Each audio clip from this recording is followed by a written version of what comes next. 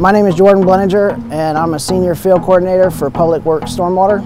I go out and I inspect uh, areas that the stormwater isn't functioning or may need improvement. I go out and I take a look at those areas and see what all needs to be done in order to improve those areas. And that's anywhere from looking at the site plans to actually going out and doing a site visit and looking at it in person. As you know, we get some severe storms here. If we have a clogged drain pipe or if we have a, a grate that's been covered, it can easily back up. He inspects a lot of these before the storms come. He identifies these problem areas.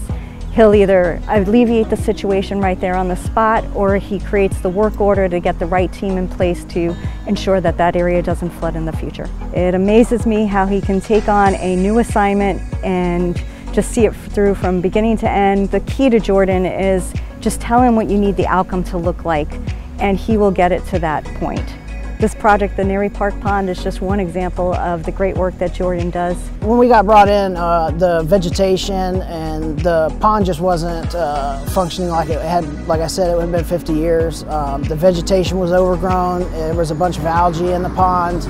We took out all the invasive species, uh, we cleaned the pond, dredged it, and um, then we also did a planting plan and put native plants in, uh, aquatics and uh, vegetation and trees on the banks. We saw a big difference in uh, wildlife and the turtles. Uh, there was a couple of small alligators, fish was a big thing. And that was one of the uh, ultimate goals of it was not only to make sure that the, the pond was functioning properly, but was also to uh, create an aesthetically pleasing uh, place for residents to enjoy. Anytime projects are going on, you, you, you tend to see residents come inquire.